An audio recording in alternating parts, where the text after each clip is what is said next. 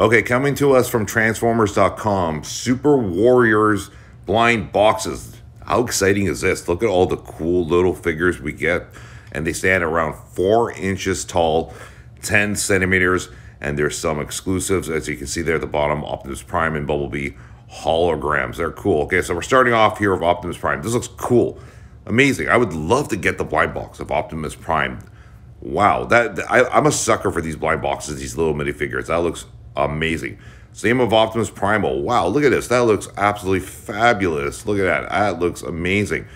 These are uh, like I, I whenever they go up for sale, I'm probably gonna grab a few just to see who I'm gonna get. But I definitely like Optimus Primal and Optimus Prime so far. And Bumblebee, look at that. I know some of you were like, you guys still like Bayverse Bumblebee better than the one that's we've seen in this movie. But you know what? I don't mind the way this Bumblebee looks. He's got a bit of an edge to him. He looks pretty cool. All right, I'm totally confused with this one. Scorch. They're calling uh, Nemesis Prime, uh, by the looks of it, to me, Scorch. So I guess one theory, a gentleman a couple weeks ago mentioned that Scorch is basically Optimus Prime from the future. I don't know. I don't want to spoil it, but let's see what happens. There's Bug Bite. Um, I'm assuming this is a shattered glass version of Bumblebee, an evil version of Bumblebee. Not everyone's from Rise of the Beast, so they're doing non Rise of the Beast characters as well.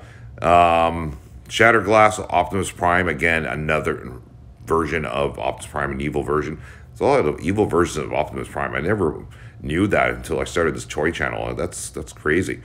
Next, we have here Mirage, who is the hologram version, I believe, of Mirage here, because you could tell by the translucence on him. That's like the hologram version of Mirage.